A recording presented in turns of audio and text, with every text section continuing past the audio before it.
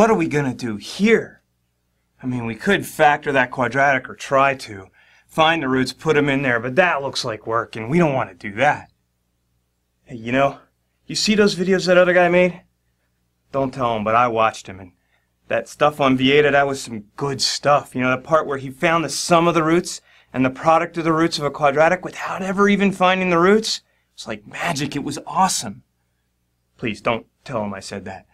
But maybe we can do the same thing here. Maybe we can figure out what this expression is without ever finding the roots. Well, first, let's, let's try to rearrange this expression a little bit. We can write it with a common denominator. We can write this as, see, 6 over r plus 6 over s. The common denominator would be r times s, and that's the product of the roots. So going to write this as 6s over rs plus 6r over rs. Then we put those together, common denominator, and in the numerator we'll have 6s plus 6r. Factor out the 6. We have 6 times r plus s.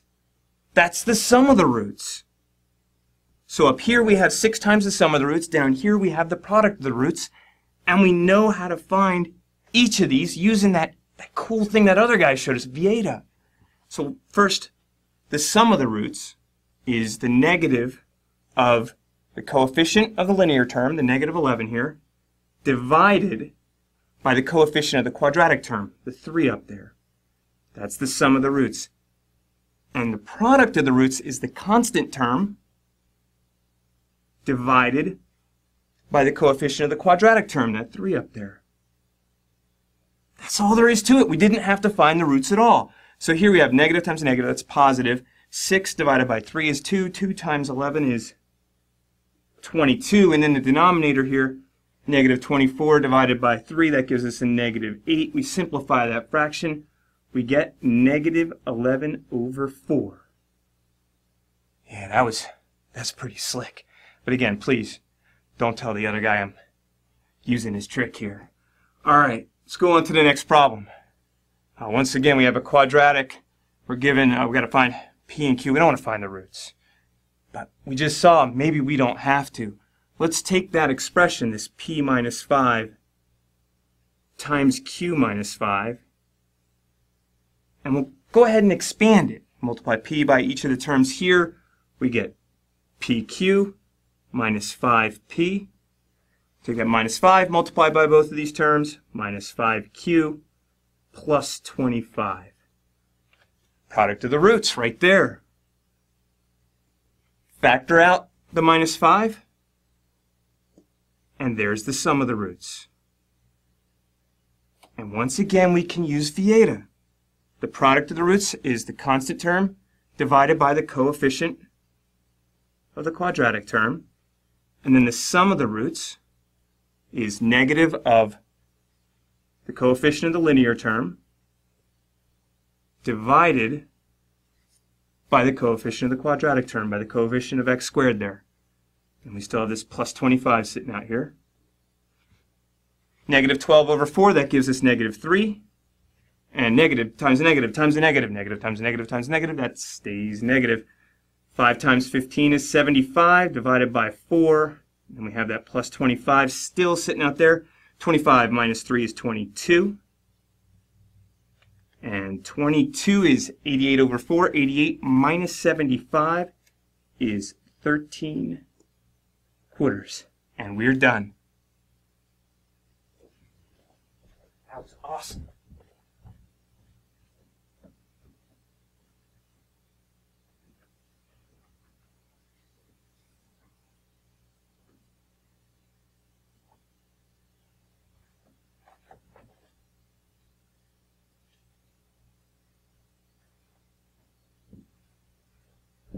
What is this? Ah. That other dude's stealing my good stuff. Ah, he's always doing this. Alright, that's okay. That's okay. I've got something even better than this for this problem. Check this out. You're really going to dig this. Alright, let's see that other guy do this. Got the quadratic there, right? P and Q are the roots. Watch this. We're going to solve this problem by factoring the quadratic. But we're going to factor the quadratic and not even find the roots. Watch this. You're going to love it. And that other guy, he's not even going to understand it. It's going to be awesome. All right, so first thing we're going to do, I'm going to pull out the 4. Because I like quadratics where the leading coefficient is 1. That's nice and neat. All I'm doing is factoring out a 4 there. Now we know how to factor this quadratic because the roots are p and q. So here's how we can factor that quadratic. It's just x minus p times x minus q. That's what it means that p and q are the roots. We put p in there, we get 0. We put q in there, we get 0. That's what the roots of the quadratic means. It means those are the values of x that when we put them in the quadratic, we get 0. So there it is, it's all factored, but we can't find the roots from that. But we don't have to. Look at what we need here. We need p minus 5 times q minus 5. I got x minus p here and x minus q. We've got this quadratic equals this expression for all values of x. Like 5. Go ahead and put 5 in here and watch what happens. We get 4 times 5 minus p times 5 minus q equals this expression with 5 put in there.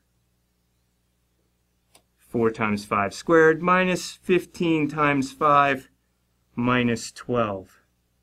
All right, 4 times 5 squared, that's 100. 15 times 5 is 75.